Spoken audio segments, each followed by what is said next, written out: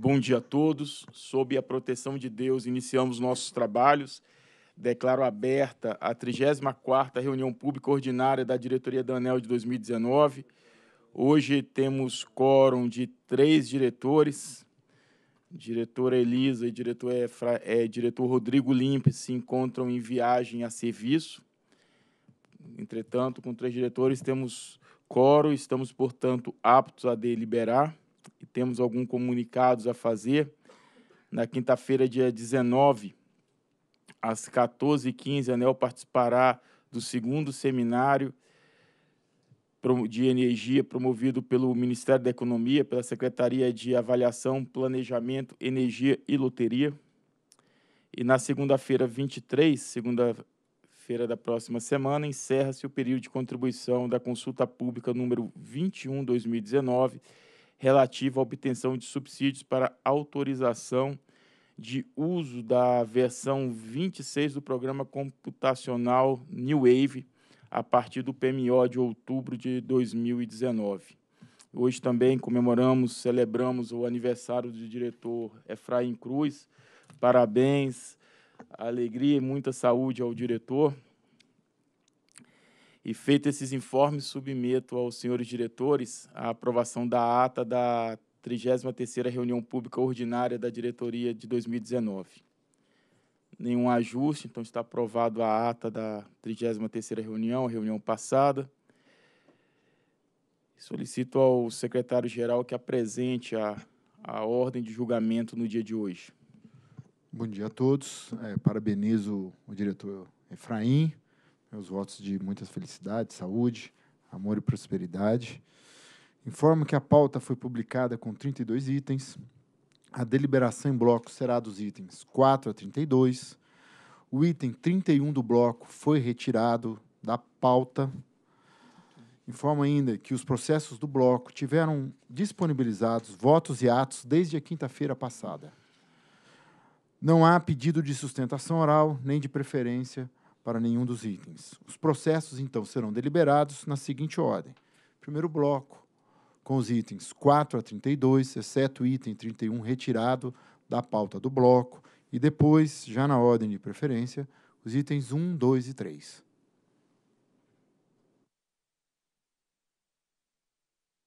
Apresentada a ordem de julgamento, só saliento que o item 31 que estava no bloco está retirado da pauta do dia de hoje. Então, submeto aos senhores diretores o julgamento do bloco. Aprovo o bloco. Voto pela aprovação integral do bloco, com exceção do item 4, por julgar-me impedido no presente processo, uma vez que lavrei o auto de infração enquanto exercia a função de superintendente de fiscalização dos serviços de eletricidades, auto de infração 12 de 2018, assinado no dia 2 de abril de 2018. Também voto pela aprovação integral do bloco. Portanto, o item 4, em que o diretor Sandoval encontra-se impedido, apurou dois votos favoráveis. Logo, ele fica automaticamente, seu secretário, inscrito na próxima pauta, para dar continuidade à votação. Então, proclamo que a diretoria da ANEL aprova o bloco da 34ª reunião pública ordinária deste colegiado, à exceção do item 4, que apurou-se apenas dois votos favoráveis, considerando o impedimento do diretor Sandoval. Solicito ao secretário-geral que chame o primeiro processo da ordem do dia para julgamento. Item 1 da pauta, processo 48.500, 002919, barra 1998, traço 29. Assunto Proposta de abertura de audiência pública com vistas a colher subsídios e informações adicionais para o aprimoramento das propostas de alterações no Estatuto do Operador Nacional do Sistema Elétrico, ONS. Diretor relator, Efraim Pereira da Cruz. Senhores diretores, trata-se de alteração do Estatuto do Operador Nacional do Sistema, portanto, já é, um, um, uma, é algo que não é de praxe, mas é algo mais é, cumprindo aqui requisitos da, da aprovação da Assembleia. E ao invés de eu ler o relatório, eu vou já solicitar a apresentação por parte da SRG. Na verdade, a gente está fazendo um, a apresentação, ela se baseia mais no, nos tópicos que estão em alteração e que a gente vai estar dividindo com a sociedade aí através de audiência pública, no sentido de colher aí as contribuições para o fechamento da AP e aí uma possível deliberação desse colegiado com relação à alteração do estatuto do ONS.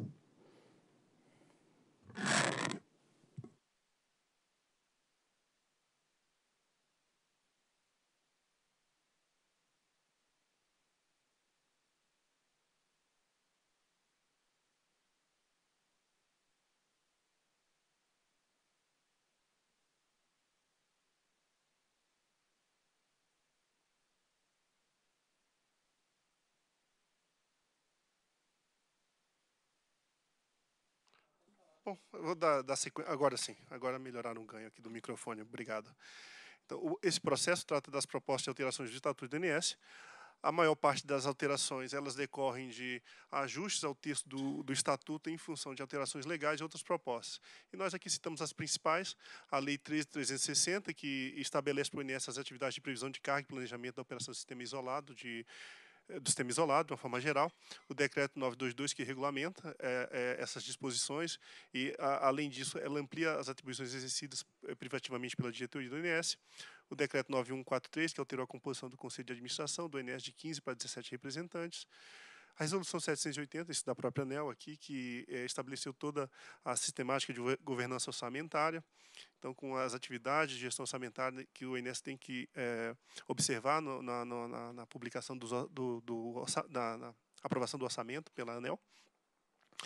E temas de reestruturação interna, em, em, razão de alteração de membros participantes do INS e prazo para ingresso de agentes no quadro de membros associados.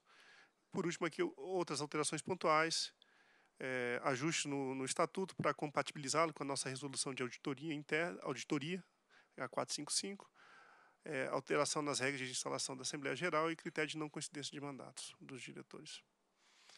Bom, aqui só para ilustrar o, o que significam essas alterações. Né? Então, na 3360, o, a, passou a constar no artigo 3 do Estatuto, são atribuições do ONS, uma nova atribuição, que é a previsão é, é, é, realizar a previsão de carga e planejamento da operação de sistemas isolados.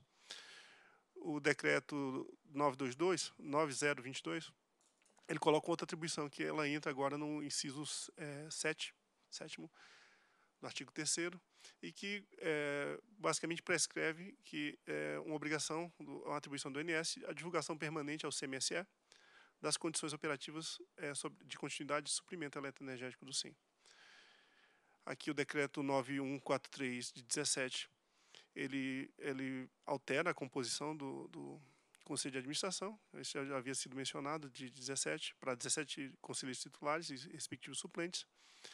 E aqui, a, o que eu diria que houve mais alterações foi por conta dos ajustes em relação à Resolução Normativa 780. Então, o, o orçamento do INS ele passa de, de um orçamento anual para um orçamento trienal. Então, tem um ajuste, né? No estatuto para refletir essa mudança na, na, na sistemática de aprovação. E um ajuste também no artigo 36, em decorrência do artigo 36, até por recomendação da Procuradoria Federal, da ANEL, no parecer 358, é relativo à, à inclusão da, perform, da performance organizacional, pagamento da performance para os, os, os, os é, funcionários da casa e diretores também é, outras alterações pontuais, e a última alteração que a gente vai mencionar aqui, que é, essa, diferentemente das demais, nós não acolhemos, e aí a ideia é, não recomendamos acolhimento, a ideia é que se observe esse prazo, esse período de contribuições durante a audiência pública para uh, avaliar um texto mais adequado. O artigo 26 do Estatuto prevê o seguinte, é que o mandato diretor do Enes terá duração de quatro anos, contados a partir da posse, permitindo uma única recondução. E esse é o texto exato, do, é uma transcrição literal do texto do decreto 5081. Ocorre que há uma previsão de, no parágrafo 7 que o INS havia pedido inicialmente para ser retirado, que falava da não coincidência dos mandatos, mas a questão da não coincidência dos mandatos é algo que, no nosso entendimento, está prescrito na lei. Então, é, ou se é, a nossa, o nosso entendimento é que alguma disposição sobre não coincidência, já que a lei assim não termina, né, ela deve constar do, do, do, do, do estatuto. É claro que compete ao ONS o, o encaminhamento do, do, que eles melhor entenderem. O que entendemos que não seria adequado, simplesmente revogar. E a, a nossa recomendação foi no sentido de não acolher essa retirada, a retirada pura e simples e deixar para discussão durante a audiência pública. Era isso que tínhamos para apresentar. Muito obrigado. Senhores diretores, é, observamos que as alterações elas são todas advindas ou de resolução normativa da própria agência, ou por meio de decretos, ou por alterações feitas em lei, aí criando atribuições ao operador. É, feitas essas considerações, senhores diretores, apenas vou aqui é, me dedicar a ler a esse ponto bem controverso com relação à coincidência dos mandatos. Diretor, só antes de você entrar na fundamentação, vamos ver aqui a Procuradoria. Opa, eu tô, eu tô hoje animado, viu? Tô, tá em ritmo, vendo, é, tá Hoje eu tô animado, viu? É, muito obrigado, doutor André. É, a Procuradoria não vai se manifestar, já que se trata apenas de abertura de audiência pública. Tem pareceres aqui que foram considerados para proposta, mas o mais adequado é, é fazermos uma incursão no mérito quando vierem as contribuições. De todo modo, gostaria de registrar aqui os parabéns a esse ilustre é, diretor causídico que tanto enobrece aqui e desafia a posição da, da Procuradoria e é, conduz a Procuradoria ao aperfeiçoamento com as discussões que traz aqui. Então, meus parabéns, doutor Efraim. Registro aqui meus agradecimentos aos diretores, todos que nos parabenizaram, também ao doutor é, Luiz Eduardo. E Agora, feita a manifestação jurídica, vamos, vamos continuar. É, Registra-se a análise quanto à proposta de alteração detalhada do item 38 do anexo, da qual o ONS propõe revogação da disposição estatutária sobre a não coincidência dos mandatos dos diretores, item 27. O operador sustentou a revogação pretendida na edição da medida provisória 643 de 14, o qual possibilitou a extensão excepcional do mandato diretor-geral por dois anos, resultando na coincidência de mandato deste com os demais diretores não indicados pelo, pelo poder concedente.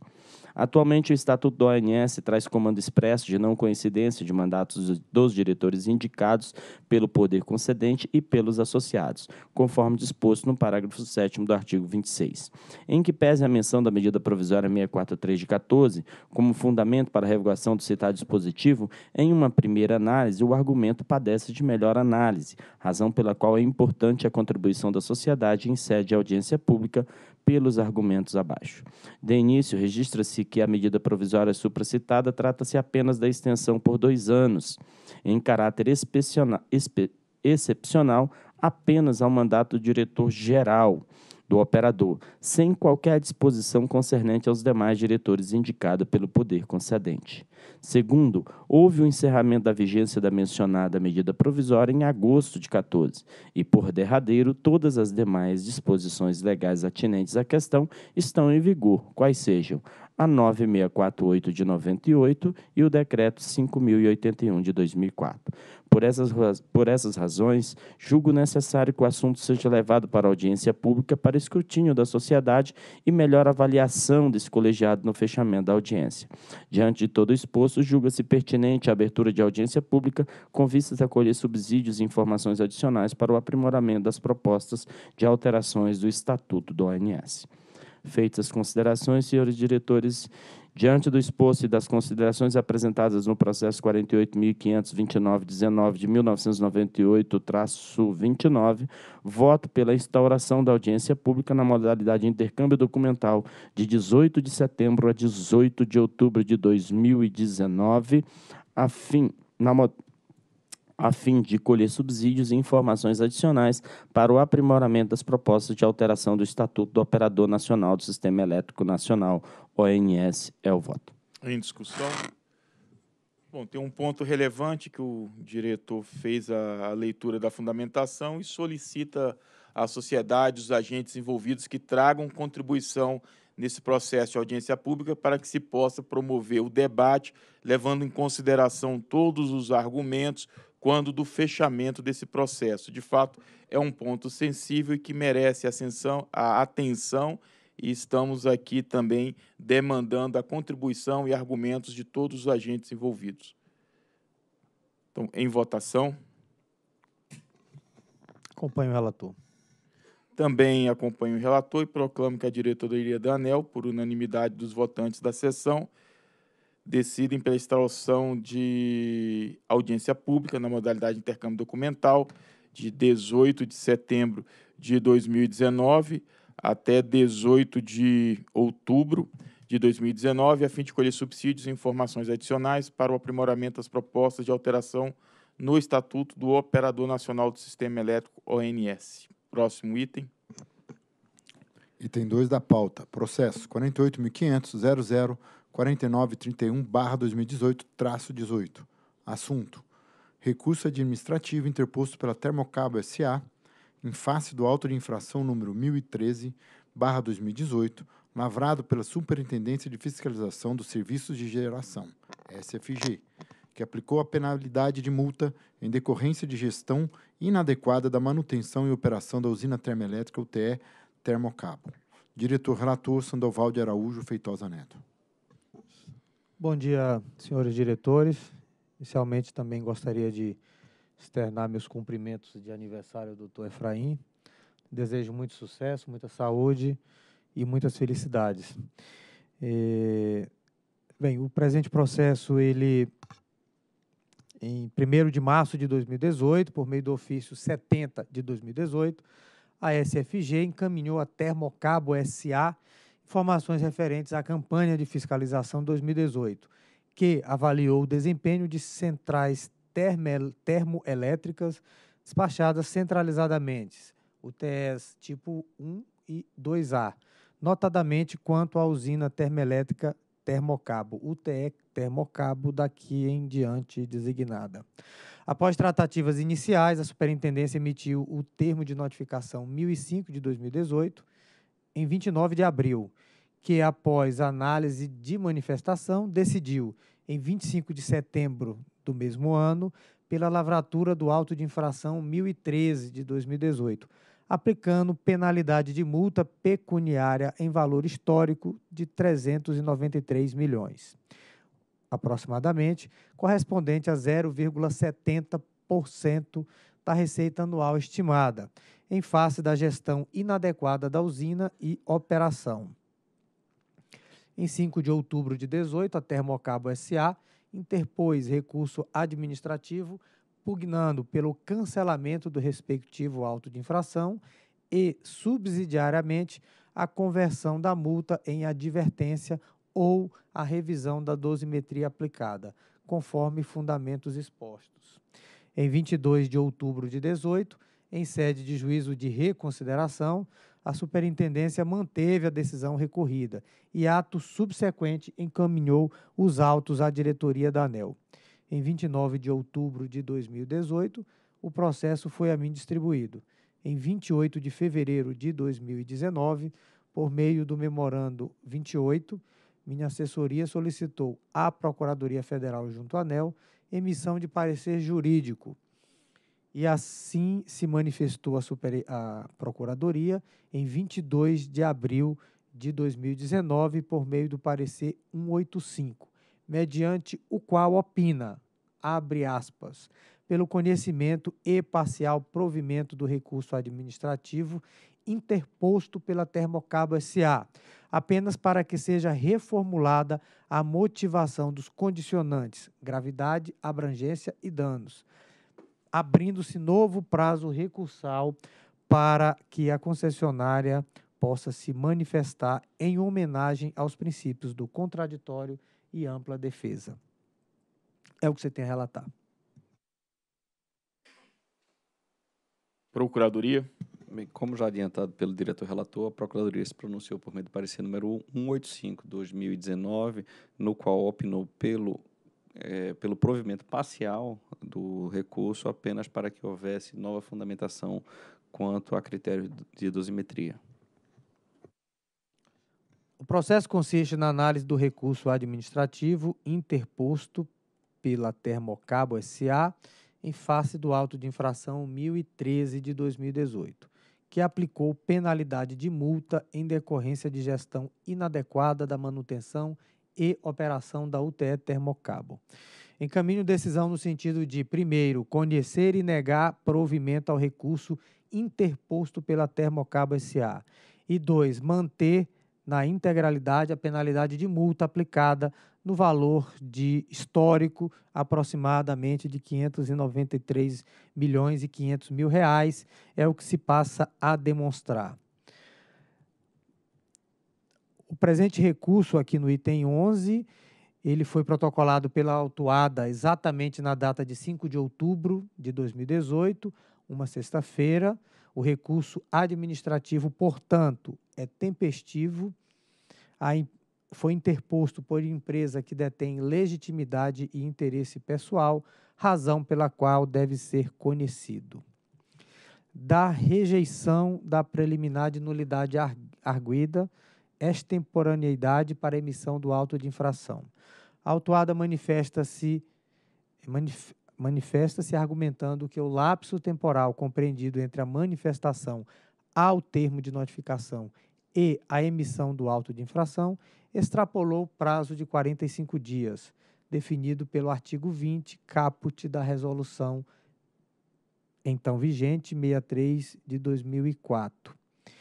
E se utiliza desse argumento para assim subsidiar sua pretensão acerca da eventual necessidade de anulação do auto de infração 1013 de 2018, desconstituindo-se a penalidade aplicada à recorrente.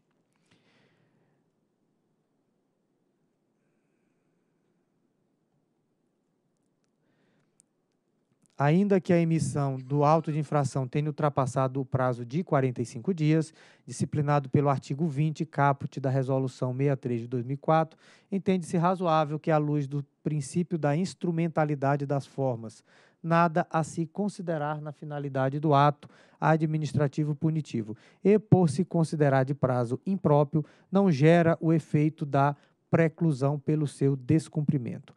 Ademais, a ANEL emitiu a súmula 12 de 2009 sobre a matéria em voga e que assim estabelece. Em suma, esse prazo ele é considerado impróprio, não acarreta por si nulidade do processo administrativo punitivo.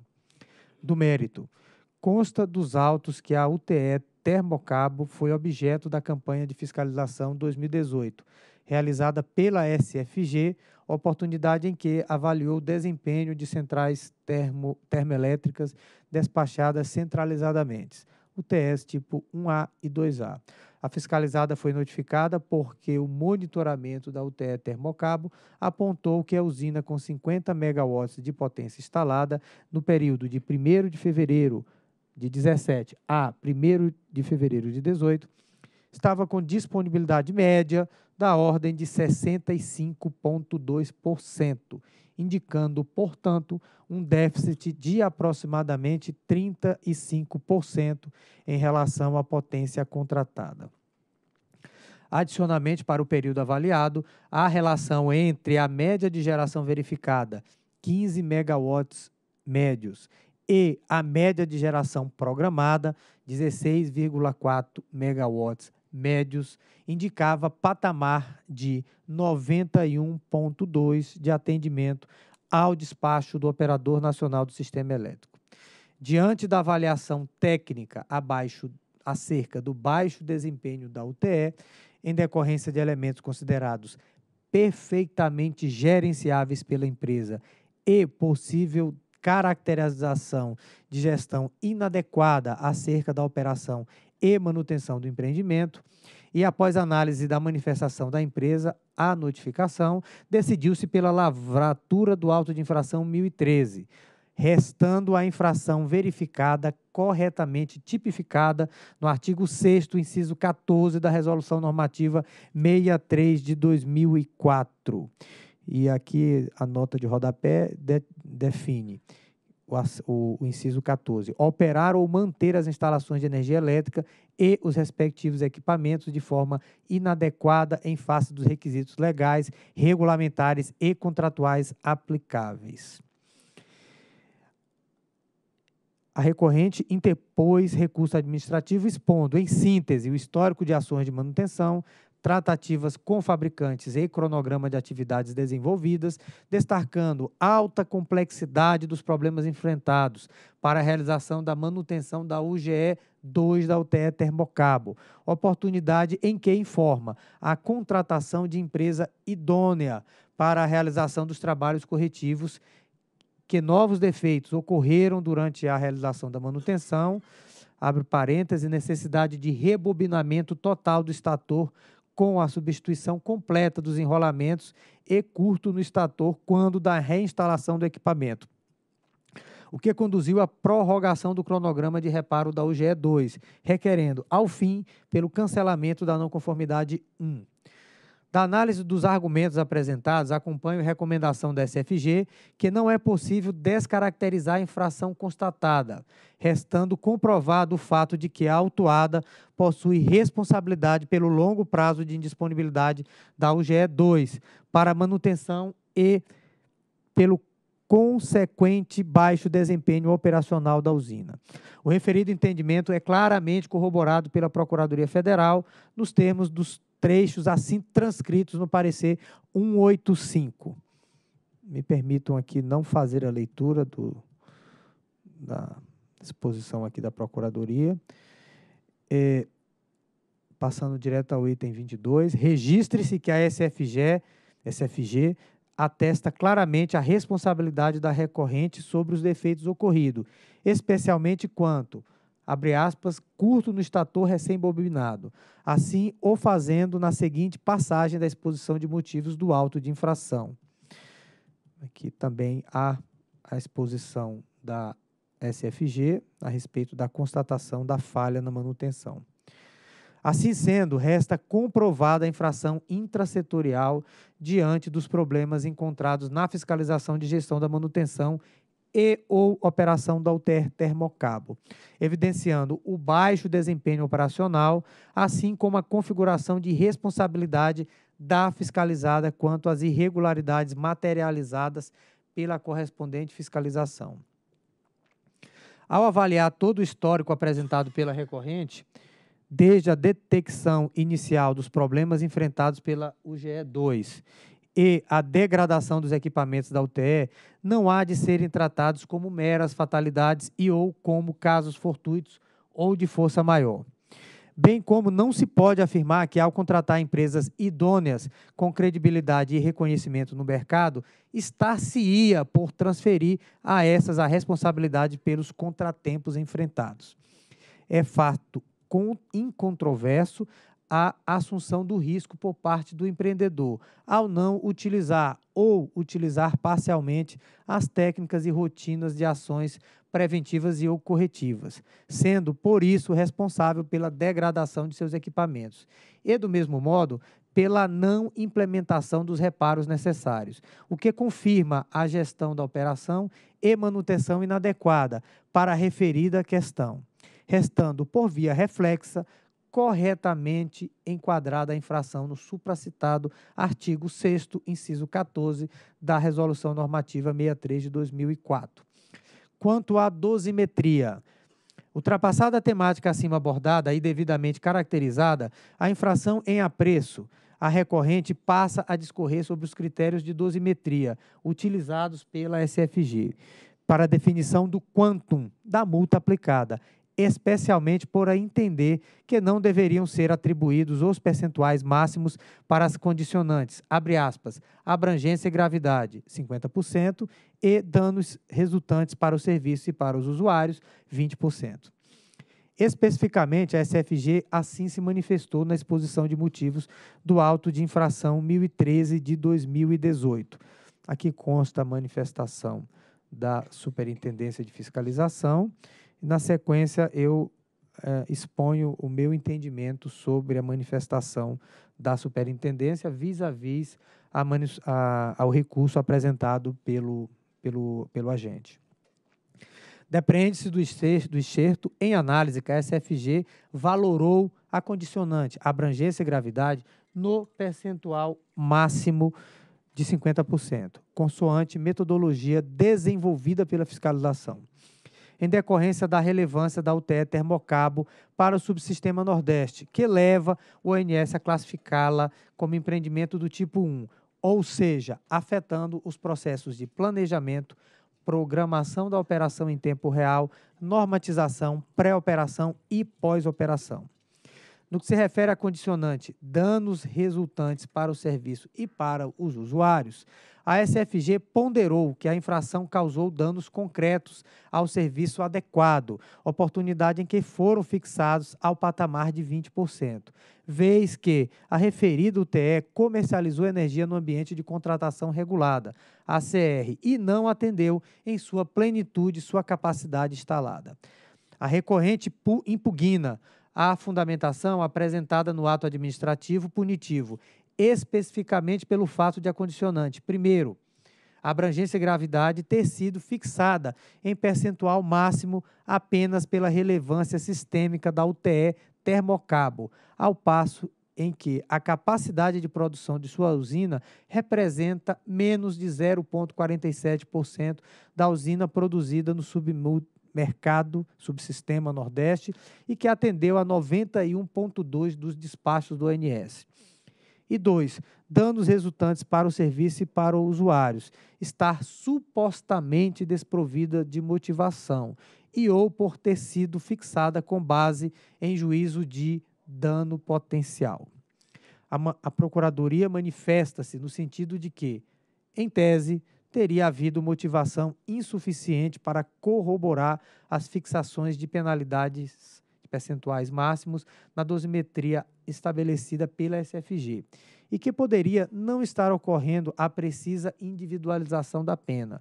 Ao final, conclui que a dosimetria da penalidade referente às condicionantes, abre aspas, abrangência e gravidade, e, abre aspas, danos ao serviço aos usuários, devem ser revistas, podendo, primeiro, haver nova manifestação para a fixação do percentual máximo, as condicionantes em tela, oportunidade em que se faz necessária a intimação da recorrente, com prazo de abertura para manifestação acerca de eventual nova motivação, em homenagem aos princípios da ampla defesa e do contraditório, ou, alternativamente, definir novos percentuais mais compatíveis com a motivação já existente, ou seja, que tais parâmetros fossem abrandados, porém se mantendo a motivação apresentada.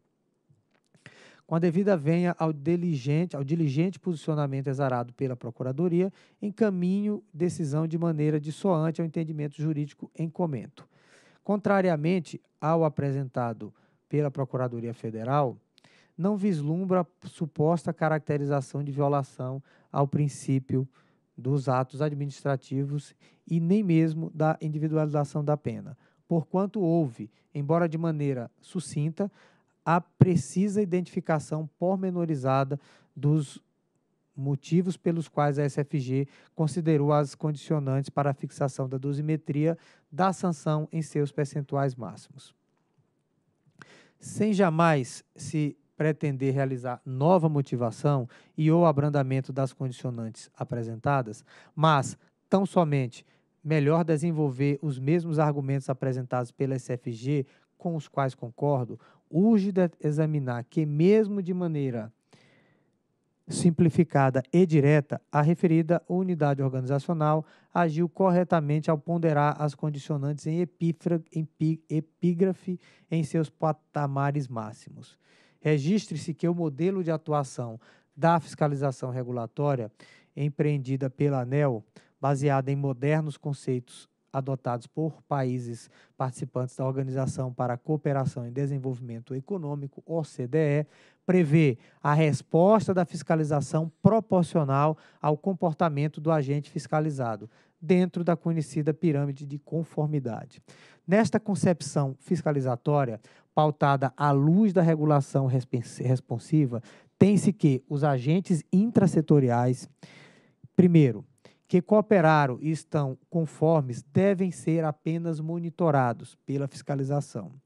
Dois, que apresentem alguma irregularidade, mas estão dispostos a colaborar, regularizando os apontamentos identificados, devem ser abordados com ferramentas que permitam a autorregularização, como, por exemplo, os planos de resultados, ou mesmo sofrer sanções mais brandas. E três, que apresentem alguma irregularidade e não estejam dispostos a colaborar para o restabelecimento da conformidade regulatória. Devem sofrer penalização exemplar, sob risco de achatamento da pirâmide de conformidade, o que representaria uma sinalização equivocada para os dois grupos dispostos a colaborar, os quais se encontram sintetizados nos tópicos precedentes. No presente caso, o processo de fiscalização da SFG pressupõe a fiscalização do universo de empreendimentos na etapa de monitoramento, quando não são, quando são selecionados empreendimentos que apresentem potencial dano ou irregularidades. Estes são investigados mais detalhadamente e, caso realmente caracterizada a não conformidade, sem que haja colaboração por parte do administrado para rápida regularização. Caso em que se enquadre a Termocabo SA, a empresa deve ser penalizada de forma exemplar e com a imposição dos parâmetros máximos de dosimetria, estritamente da maneira como adotado pela SFG. Cabe ressaltar que, apesar de existirem mecanismos de mercado já regulados, com previsão de aplicação de penalidades comerciais ao agente infrator, tem-se que, nos casos que de indisponibilidade de unidades geradoras, tais instrumentos não foram capazes de fazer com que o empreendimento voltasse à condição de operação desejada e contratada, causando assim custos e riscos sistêmicos e técnicos no supermercado em que o empreendimento está implantado. É dizer, a indisponibilidade da planta por tempo não razoável em face da manutenção não executada pela fiscalizada limitou as possibilidades de despacho da usina pelo ONS. Fato este que impacta o planejamento e ou operação energética, causando danos sistêmicos e técnicos ao setor elétrico.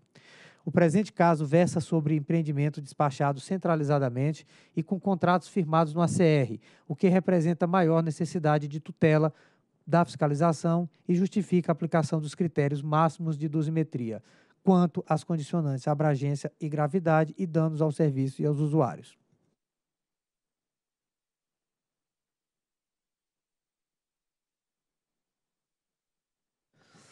A não conformidade mostra-se de elevada gravidade, tendo em vista a relevância da termocabo para o subsistema Nordeste, onde a usina está instalada.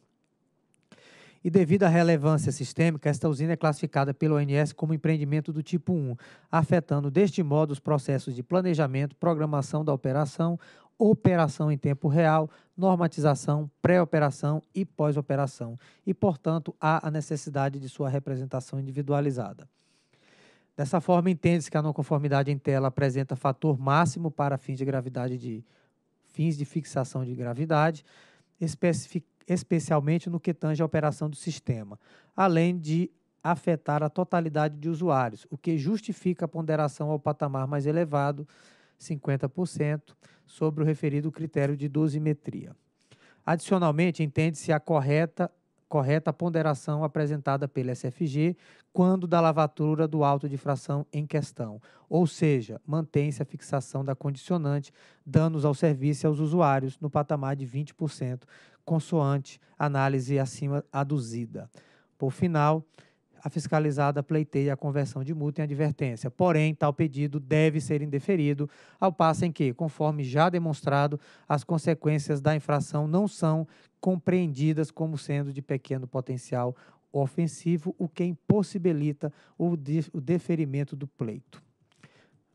Por fim, eu passo a leitura do dispositivo, que diante do exposto e do que consta do processo 48.500.004931 de 2018, voto por conhecer e, no mérito, negar provimento ao recurso administrativo interposto pela Termocabo SA, em face do auto de infração 1013, mantendo-se a penalidade de multa no valor de 593 milhões, desculpe, 593 mil R$ 584,94 em valores históricos, correspondente a 0,70% da receita anual estimada da autuada em face da gestão inadequada da manutenção e operação da UTE Termocabo. É o voto.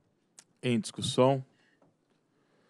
De fato, o relator argumenta muito bem a, a situação. A Termocabo é uma usina que teve dificuldades com os seus geradores, a unidade 1, a unidade 2 e a unidade 3. Então a empresa argumenta bem nos autos e deixa claro, sobretudo, o que aconteceu com o gerador 2, que teve excesso de contaminação, que prejudica a troca térmica das bobinas e, consequentemente, acelera sua degradação e prejudica a geração. Teve problema no rotor também com excesso de contaminação. E nas unidades 1 e 3 tiveram problema similar, a empresa contratou contratou o, o, devidamente o reparo, mas conforme o, o relato do diretor Sandoval, são problemas inerentes à gestão do negócio do empreendedor. Ou seja, ele teve a liberdade de comprar o equipamento, ele tinha uma, uma diversidade grande de oferta no mercado, então isso é uma relação comercial entre o fabricante do, do equipamento e o gerador, que não pode ser transposto esse risco para a relação com o consumidor. Essa empresa ela tinha, como bem pontuou a SFG, ela tinha obrigações comerciais que não foram atendidas em sua plenitude devido à dificuldade de geração da usina. E a consequência disso, de fato, é totalmente inerente à usina do ponto comercial e a fiscalização agora aplica uma multa que o relator também acompanha, e aí eu me associo ao voto que acabou de proferir o, o diretor Sandoval, de que é uma, é uma relação totalmente privada entre o, o gerador e o fabricante, e que a agência, primeiro, do ponto de vista comercial, não tem nenhuma relação com o consumidor, e depois a empresa não atendeu o que estava disposto no seu contrato de concessão, que era oferecer essa energia para o mercado a dificuldade de que ela teve, de fato, é inerente à gestão dela. Então, ela é responsável pelos equipamentos que compra e pelo uso e a condução desses equipamentos. E só chamar também a atenção que no voto é, há uma, um argumento de que o, da lavratura né, do auto de infração após 45 dias da, da, da emissão do TN. Então, ainda que o auto de infração tenha ultrapassado os 45 dias, é, do que está no artigo 20 né, da, da 63, na época vigia a 63, entretanto, esse assunto está mais que consagrado aqui na agência, que esse argumento ele não, não se verifica. Tem a súmula 12, que é uma súmula de 2009, ou seja, mais de 10 anos, e ainda insistem aqui com esse argumento. Ou seja, o recurso é razoável, mas vamos usar argumentos razoáveis, né? Tem 10 anos que esse argumento não, não se verifica. É, não, e assim, só para complementar, é, é, tudo que já foi colocado, doutor André, é, a gente percebe que a, a máquina, a usina, ela ficou indisponível 61, desculpa, a disponibilidade dela foi de 60 e a 60, valores aqui da ordem de 64%, 61%, eu vou agora, a minha memória me falhou aqui, mas, é, é, de fato, não, assim, para constar, ela ficou muito, a indisponibilidade foi muito além do razoável. É claro que isso ocorreu em função do problema que ela teve na, na no reparo da máquina 2. Agora, como foi bem falado, ela contratou uma empresa, o risco é dela, ou seja, não temos como avaliar se houve, por exemplo, algum, algum erro, algum problema no momento de fazer o reparo dessa máquina, ou seja, o regulador não tem como atuar nesse sentido. E, e, e, a autonomia da empresa, a prestação do serviço, ela é a, responsável direta, não há como transferir isso para um terceiro, uma empresa terceirizada. Então, e, e esse é o, o, o, cerne da questão aqui do, do voto. É de fato, a gente está claro que a empresa encontrou várias dificuldades, mas toda inerente à sua própria gestão do negócio. A gente vê que em fevereiro de 2018, a unidade geradora 2, ao retornar à operação comercial, né, sofreu um curto-circuito no estator que de novo tira essa unidade de operação comercial e ela só volta a ser disponibilizada em 30 de junho de 2018. Mas são situações que é inerente ao risco do negócio do proprietário da, da usina. E, e a gente se sensibiliza está muito bem colocado no, no processo, a diligência em contratar empresas para solucionar o problema, que de fato deve ser feito, mas é tudo inerente à gestão do negócio.